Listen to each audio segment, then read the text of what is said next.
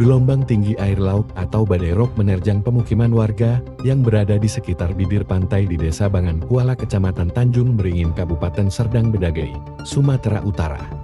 Akibatnya sekitar 60 unit rumah warga terendam air dan 6 rumah warga yang berada di sekitar bibir pantai rusak akibat terjangan gelombang air laut.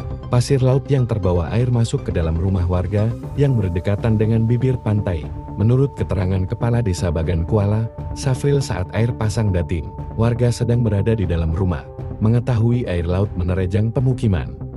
Warga pun berlarian keluar rumah untuk mencari tempat yang aman.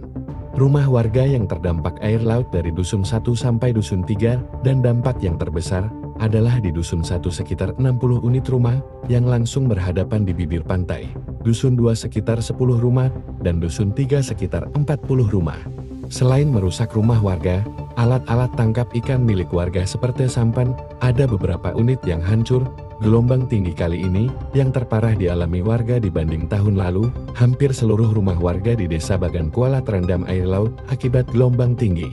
Pemerintah Kabupaten Serdang Bedagai membawa dinas terkait telah mendata rumah warga yang mengalami kerusakan dan telah mendirikan posko pengungsi serta mendirikan dapur umum.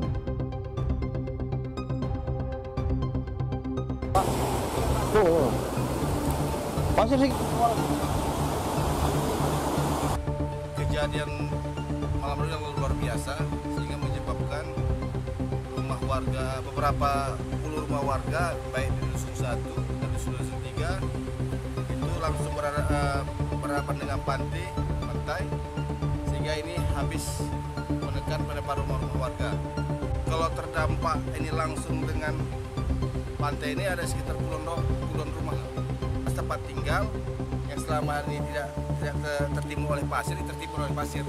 Ada lebih kurang enam rumah yang rusak.